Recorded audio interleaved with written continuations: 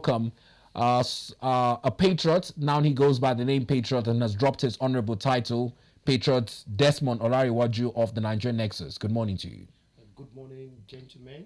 I'm happy to be in the studio this morning to look at some of those issues that grace our national daily papers. Well, it's wonderful to have you in the studio once again. Let's, uh, before you walked into the studio, Bito and I were, you know, discussing uh, the recent uh, statement by Serap urging the uh, president, you know, to reverse the recent price hike in PMS pending uh, a court verdict. Now, how would you react to this? I, I, know you have been quite vocal about uh, the issue of PMS, particularly the constant increase in, in, in the price. How do you think uh, the possibility of this happening can come about?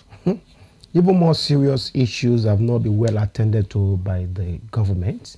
So let alone this uh, call by SERAP, which is a, a non-profit organization and uh, social rights uh, organizations.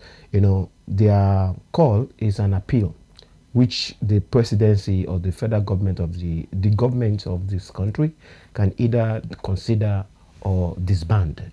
But the issues remains. Are certain line, there are certain issues that are very pertinent, and that is the issue of lies yes. by government yes. and to the people. You know, when you lie to the people of the country, you expect that they are also going to respond with lies. So this government or this country has been run with so many lies, conspiracies, and all that. You see, the issue of fuel increments every day is a major concern to the Nigerian society and is not healthy for our economy. This has set us backward, thousands times backward, and that is why you are not seeing major improvement in our daily lives, economy, despite the suspension of certain uh, subsidies, uh, some, some subsidies, so many things, increments in VAT here and there, trying to plug holes and all that. Yet it is not affecting our daily life because of certain elements that have found themselves in government. In government, they're only taking advantage of that space to see how they can manipulate the people. It is unimaginable the way this government or the government of this country at this particular time craft certain policies and affect the livelihood of the people. Imagine increment in salary and then in return is fuel increment. All these are the increment kind of incre increment in salary, then in return is increment in VAT, increment in cost of living, and all that. That is to say, you're robbing Peter to pay Paul. It is a government of deceit. You are not actually targeting improvement in the quality and the sanctity of humanity. What you are only trying to do is now to be political and trying to be smart. When the government is trying to be smart, this is what you're going to get. And in return, it will set us backward. Instead of development, instead of bringing succor to the people, you rather bring more pains and hardship to them. And that is what we are seeing. So the call by SERAP to the federal government is timely and is apt. But the big challenge is that the government will not heed to that. The government will not heed to that. And let me tell you, you see why more Nigerians need to come on board? Some of the realities, what you're seeing today in the government is the more reason why a lot of smart and intelligent, patriotic Nigerians needs to see themselves as stakeholder going forward if we must come out of this hook. Nigeria is at a crossroad and more people need to come on board and get involved in the policies that shape their daily lives. We cannot continue to allow these elements that are there presently to continue to be the umpire that will determine the way we are going to live our lives. Let me tell you, the reality is that the current hardship and the policies and the way government is being run in Nigeria will undermine our existence and even living our life to the fullest. Majority of Nigerians will not live a happy life before they die. That is the implication. The implication of some of these things you see in governance and some of these tweaks and some of these counter tweaks that is being uh, delivered to us by government in Nigeria it will set us backward in terms of development. It will affect our people.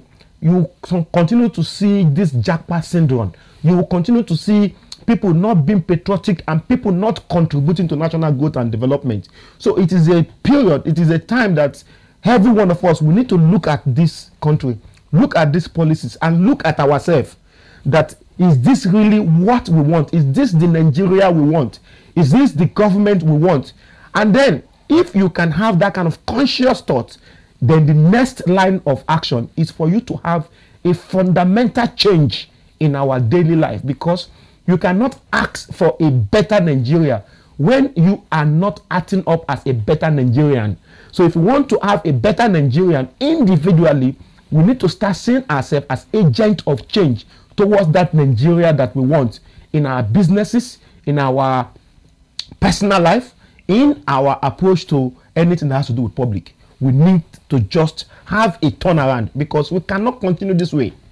We can't continue having this hike in petroleum every day. We can't continue to have uh, uh, refineries that are not working. We cannot continue to see, because of the uh, failures of government, successive government, a lot of things have gone bad. Let me tell you, I understand what is happening. Let's also be fair to the government. We understood what is happening. What is happening currently in Nigeria is that Nigeria is highly indebted as a nation. Nigeria is highly indebted as a nation. So what government is trying to do right now is just to bail itself out. Now let's also bring in other issues in the news so that we maximize time whilst you look to make Yeah. your points. Now talking about the indebtedness, we saw earlier on the Vanguard that it took the intervention of the DSS for marketers to recoup 15 billion naira.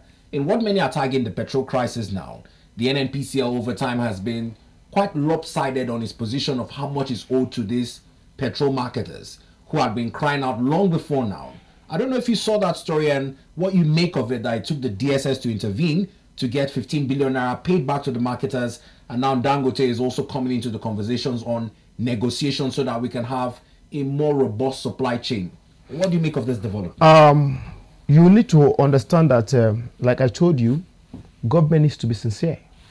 Like I have said earlier, that it is only when a government is sincere that you expect the Nigerian people to empathize with government to see how they can work collaboratively to achieve results. You know, there have been this call for a very long time that the federal government is owing marketers. And some elements within the NNPC have refused and denied that allegation that it was not true. At some point, we're told that NNPC is owing suppliers about 6.8 billion US dollars, which we do not even understand how they arrive at that figure because it's coming during the time or period that the Nigerians are paying heavily for this PMS in the market. So this is the true fact, and this is the reality that there are certain people the government are not expected to owe because this is buying and selling.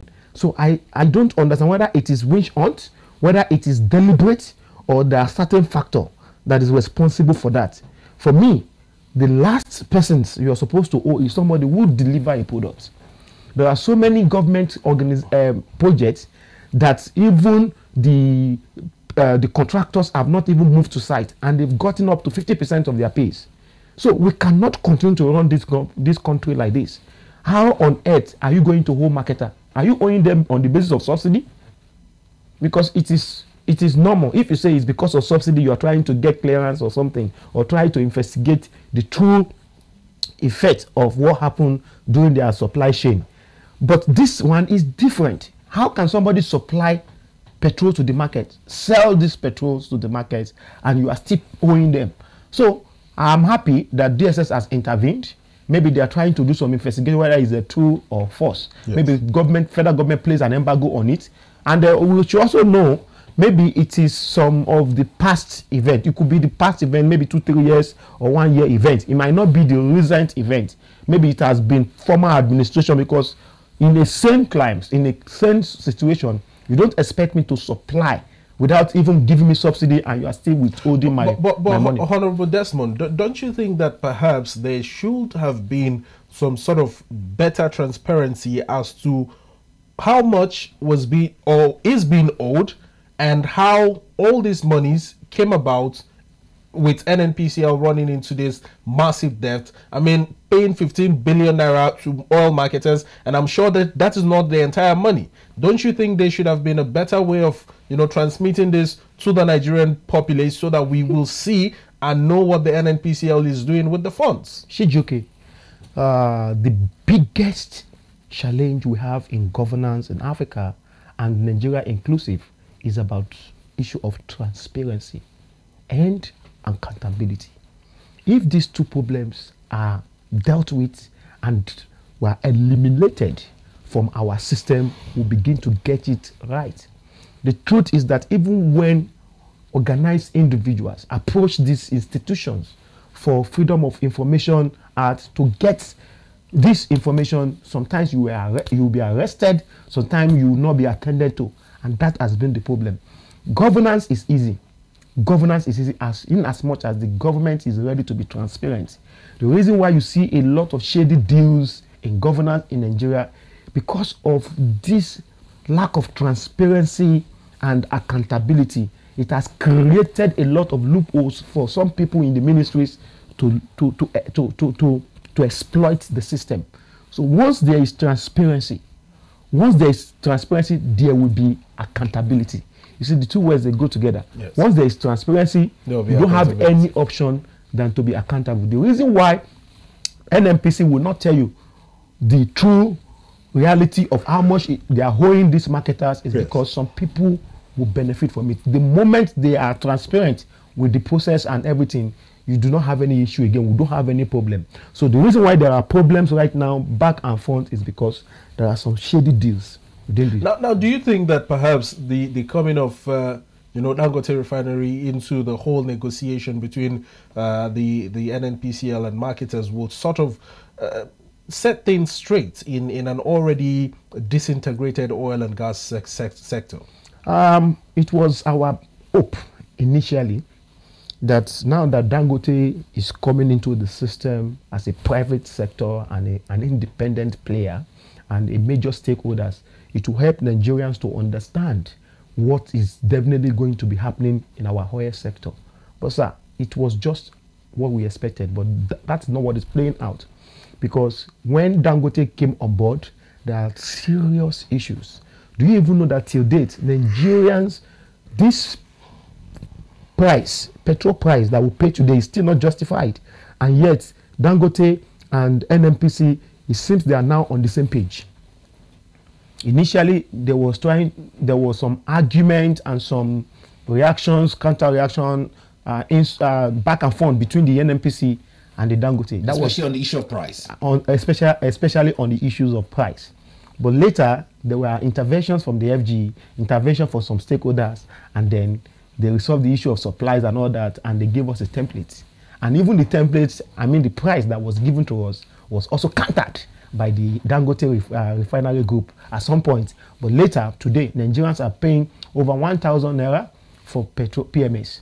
You see, it is for me, the entire process is not clear. It's not even Dangote is not being sincere, or, or or maybe they have been tied not to be transparent or to to let Nigerians know exactly what is happening. How much do they get the barrel of uh, crude? What is the cost of refining crude? Why do Nigerians have to pay 950 naira per liter? They were not transparent enough if by if going by what was available in the news and some of the information given to us by Dangote refineries. The only thing the NNPC was able to do about some some weeks ago was to give us a template that they get this fuel at 900 and 899 898 naira from the Dangote refineries. How did they arrive at that? And, Was there a Dangote- negotiation? and Because now they are buying. And Dangote refinery said that that was not correct. The that statement was, false. Was false, but did, have you seen any group in this country? Have you seen maybe the governors forum? It have was- you seen the National it- it Assembly? was just have you seen the the civil society organization mobilize action to investigate? How did we arrive at eight nine eight? It is. This is why I'm telling you that we're actually expecting that as Dangote is coming into the system, it will open up for more transparency around our crude oil oil sector. But it is lie because the bigger force is the NNPC. The NNPC set the template. Do you know that I said something on this show some times ago that just because NNPC want to give us a particular price that we are going to buy, something happened just two weeks before Dangote will release its, its petrol to the market. This they took the price up. That was to set the template for the pricing. And the truth is this let's now say it let's say it's the way it is the reason why you're saying this front and back is that nigeria as a country is in a mess successive government has plunged this gov this country into mess maladministration bad policies inconsistency in, of government and lack of accountability and sincerity of, of purpose by the successive government has made Nigeria to be highly indebted. So now, for us to not be, to, for us not to move or plunge into a state, what they call stateless state or a failed situation, that is why you see that all these things you're seeing right now is just to try to see how they can manage the economy. It's a process of trying to manage the economy because the country economy is in a shame. The country economy is suffering. So all these tax you're seeing, all this hardship that is being meted on the people is just a way to manage or to try to recover the country. We understand that. But what we don't understand is that why are we still battling with high cost of expenditure by government or agencies? We understood that there has to be hardship. We understood that there has to be increment in VAT. We understand that subsidy for naira or for for for, for uh, dollar Yes. we go, subsidy for petrol we go, just because the country needs to come out and be uh, um, To stand on it or to stand stand on on the economy of the country and- has to and come out and, stand and be self-sustainable. But currently, we are still spending more money building a vice president's house that is not going to stay, renovating um, uh, our um, state house medical uh, that the government, the people in the state do not even patronize, s- spending billions of naira to get SUVs for senators and all that. We are talking about recovering. The people are now sincere in contributing to the the recovery of the country, but the government itself Now let's talk about this issue of the elites because that's item number four. Hmm. It almost feels like last week Chijike and I discussed sacred cows and whatnot. The Punch newspaper is telling us that uh, the Nigerian customs is moving to ground over 60 private jets today over unpaid import duties amounting to several billions of naira. Yes. You and I do not own private jets. Yeah. Uh, why is it hard for the government in its revenue drive? Mm. It's most easier for them to increase tax on every citizen, but in these import duties owed by some of the sacred cows, permit me to use that language, it is very difficult to recoup this money. Bito, you need to understand that some of the billionaires, some of the rich guys you see on the street, they are the account, let me say the finance or the account managers of some of these people you have in offices. It is easy for them to evade tax because they have the backing and support of some of the people in government Their principles. their principals. They are just these properties, most of these things you see on the streets, this wealth and affluence you see. Nigeria is a rich country. But the problem is that some of these natural wealth or commonwealth are too prosy diverted into private pockets. Some of these assets you see, you know, some of the art, uh, code of conduct and art and all these things Yeah. does not permit people in public offices to show some of these affluences and to uh, to show that they are the owner of these rich rich empires and all that. So they have to plant somebody as maybe somebody who can be a far relative to or front the to front the property. And that is the only justification for a private entity not to pay when they are supposed to pay. And, are gov- and we have government in charge. What usually happens is that Oga at the top, the Ogas at the top will say, no, leave that guy. Clear those guys. Uh, don't worry, we'll talk about it later. And that was what has been happening. That's the practice. If government can watch it and off some of these shady deals, you'll find out that these private business owners will pay. Some of them, they are cronies and friends of people in authority. And that is why it is easy for them to evade And you can understand billions, about 270 billion naira is being owned by these private jet owners that they are not paying.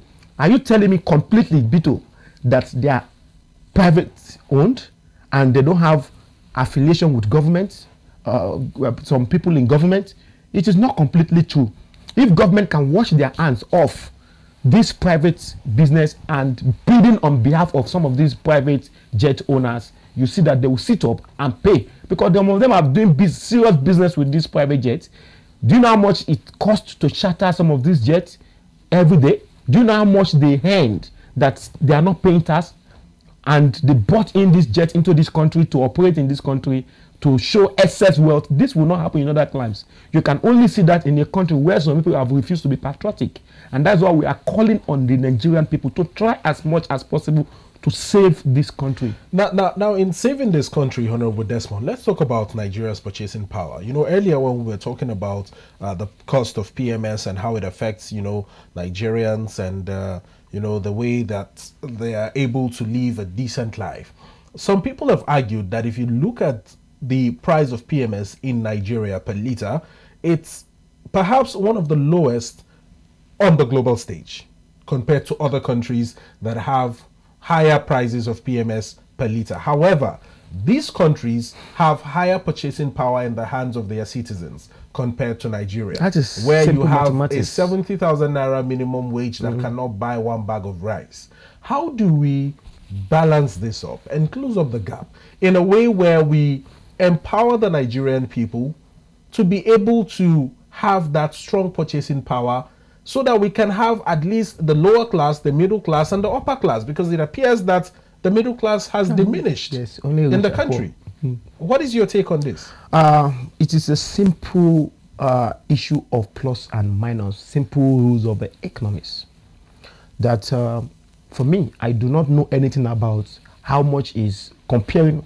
It's insane in the first instance for you to compare the cost of buying uh, fuel in Nigeria with maybe Ghana or with Libya or in Dubai. or Dubai. It doesn't make sense. It is propaganda.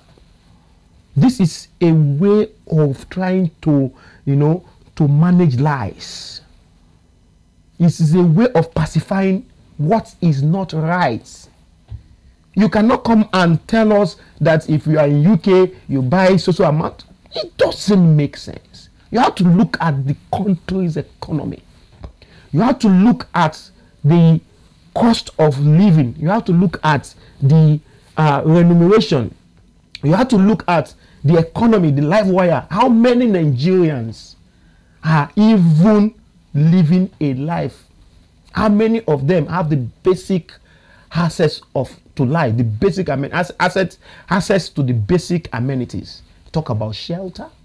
You talk about electricity. You talk about water. How many Nigerians can have access to three square meal Per day. per day? You know, there are certain things you don't. Is it a country whereby some people are rich? They have the purchasing power.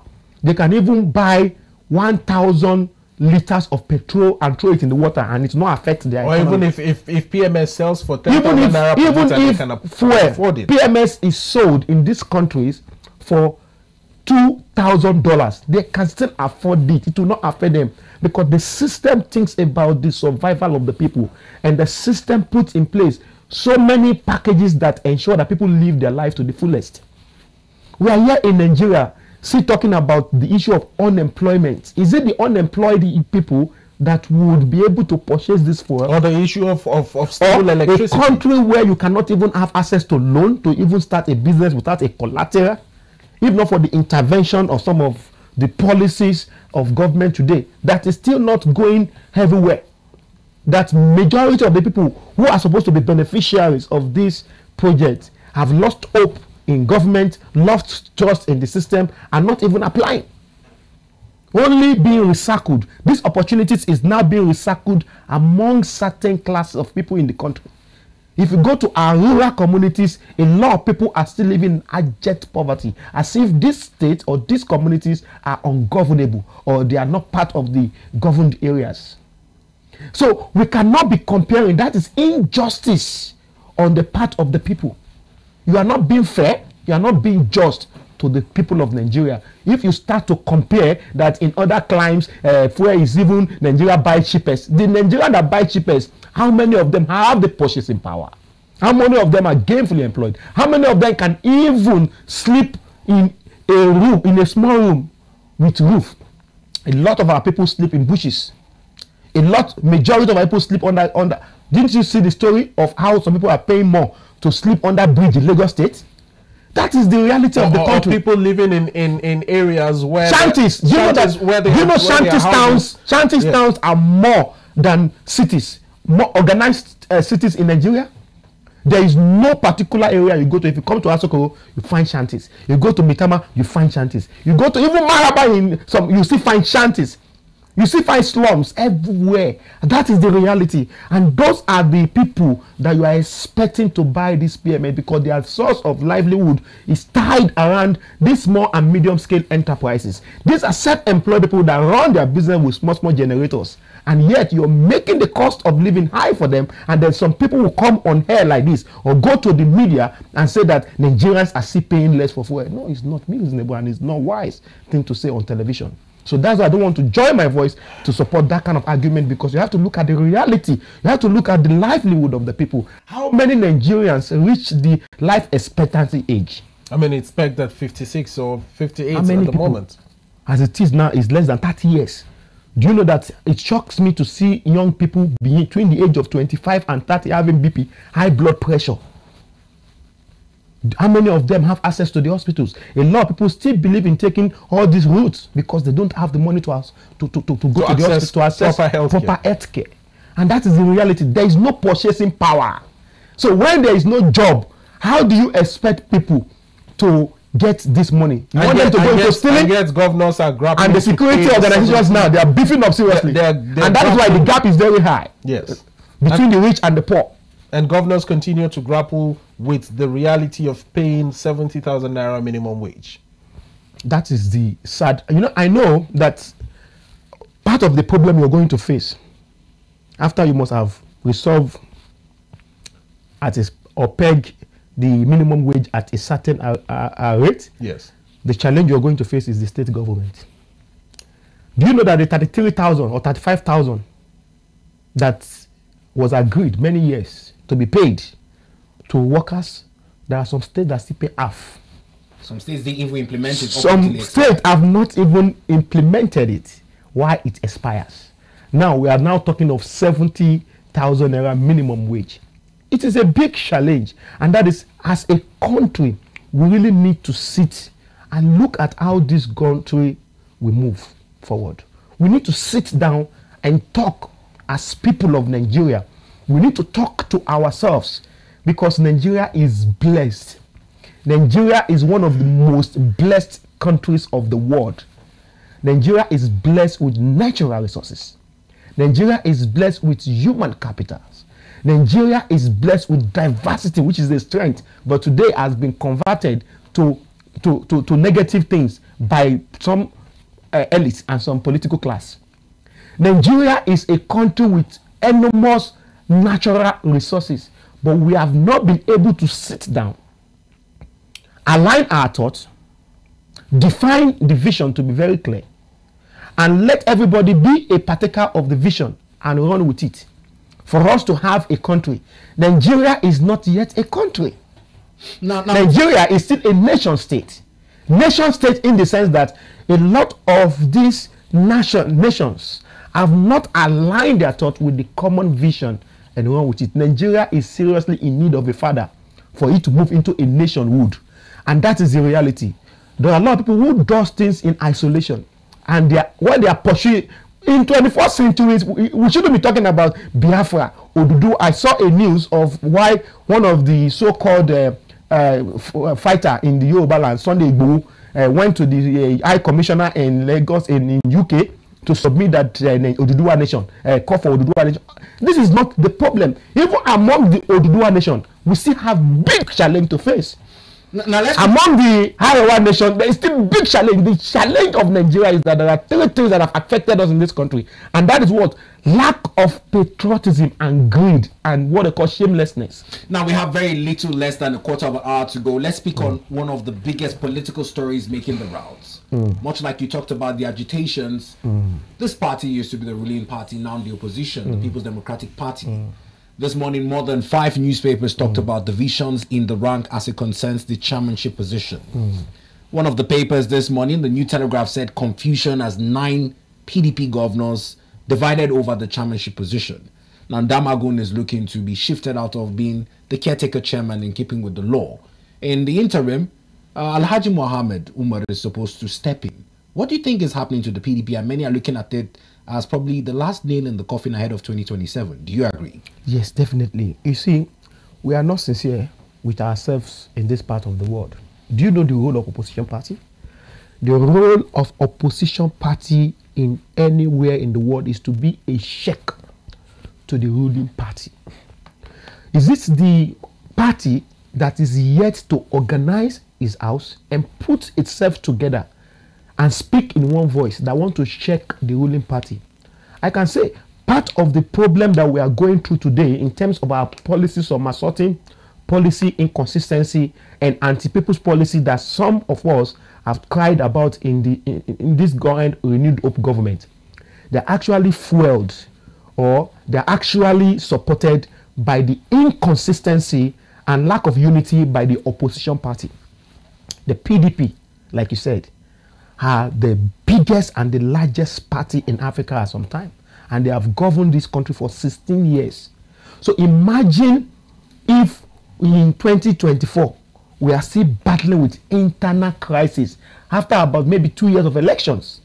We have had elections since 2023, early 2023, and from that time till now, they are not already talking of coming together, uniting their thought, and resolving whatever issues. Yes, conflict is natural, especially where there are multiple interests.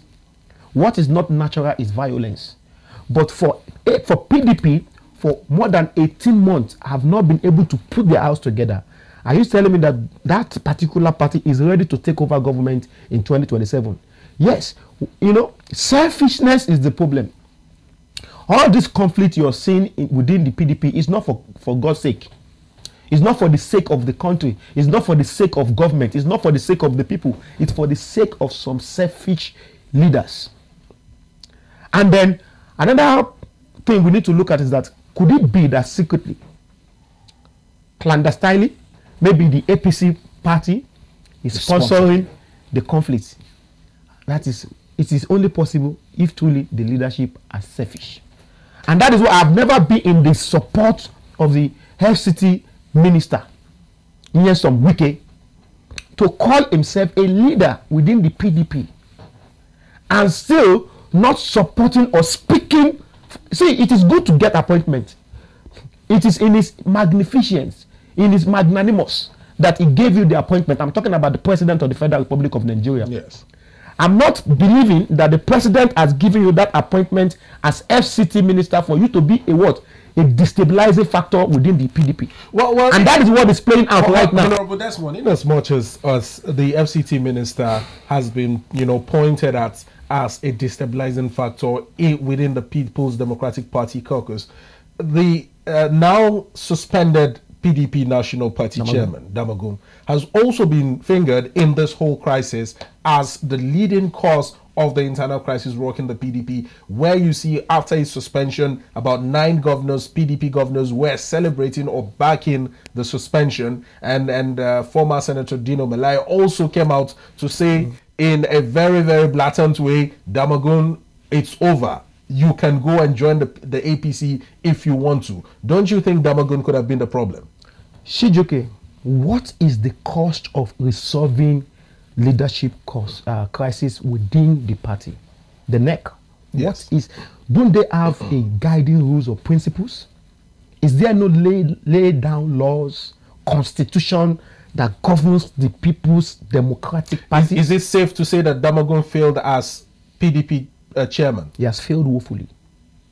I don't want to join these issues with the, but with what we are expecting from an opposition party, I can say it 100% loud voice that the Damagum administration has failed Nigerians because they have a duty of care to the Nigerian people by standing as a foremost opposition party. Because under the administration of Goodluck Ebele Jonathan, the ACN then stood up as a strong opposition to that government. And there was a level of what? Um, checks to some of the policies as at that time. Even the fuel subsidy as at that time. Because they were a strong voice. It's not about just some youth people uh, want to say they want to uh, bad, protest bad governance and such. No. Then ACN, now APC, they stood united and as if they have a clear direction of where they are going and what they want to achieve. So they were speaking in one voice. They stood against APC, uh, uh, PDP government as at that time. That was what we expected from PDP. It is on that note that I can say this. Hi, Patriot Olufowobi Olarewaju Desmond said that Damagum has failed the Nigerian people. This time around, not even the PDP people. He has failed the Nigerian people because he has not been able to give us credible opposition and straighten and streamline activities of this present administration of led by President Bola Ahmed Tinubu. So Damagum, first of all, needs to go set aside. Now, beyond that, the PDP caucus and the leadership they need to sit on a round table and decide either to make Nigeria or to man Nigeria. Are they really ready to first of all stand or serve as a strong opposition? If they are not going to do that, they should scrap the party and allow a stronger voice to come up. I don't know why it's taking the government or the governors too many years to come together. Since they have certain resources they can contribute to the party activities, they can come together, you understand, and decide that this is what is good for the Nigerian people and this is where we are going. The reason why majority of the people will not even support the PDP governor is if they have sensed that they too they are doing it for their selfish interest. And that is why I say that for Nigeria to work, Nigerians must work. And not just work, they must work for a, a better and a, a, a, a smooth country. Well, Patriot 4B, we must thank you. Time is fast spent on this issue, but we appreciate you for lending your vehement opinions to issues in the news this morning. Uh, the pleasure is mine.